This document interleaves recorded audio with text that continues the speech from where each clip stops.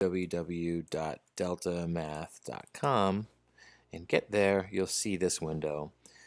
You're going to probably create an account as a student and then enter our teacher access code, which is 361169. And you'll see my name right there. Click Algebra 2 BC, enter your information create a password, I suggest using the same password that you do for your school login, but it's up to you. This is a password you're creating. Click Create Account,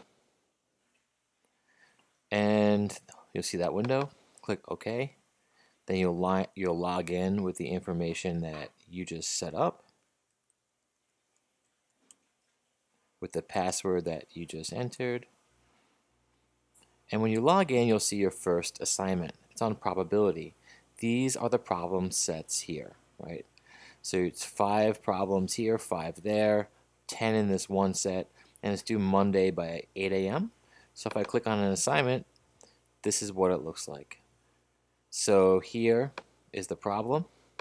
Notice down here, if there are multiple solutions, you can click plus, minus, you can click the keyboard if you want to have specific math symbols inserted. Also, there will be help videos on each topic that'll walk you through it. So that's there as a resource for you. When you type in an answer, even if you don't type the, the right thing in, this is not going to be correct, click Submit Answer. It'll verify that that's what you want to enter, and then when you click it, it'll tell you it's incorrect. Notice here you have attempts remaining. Typically, I'll put three attempts per problem, and there's no penalty for getting it wrong. In other words, if I don't get this right after three tries, I just move on to the next question. You can go to here to see an example.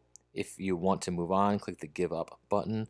And in total, you're getting five questions right. So most Delta Math assignments, when you see this number here, that's the number you must get correct. It might take you 10 problems to get there, but once you've completed five problems correctly, you are finished. All right, thank you.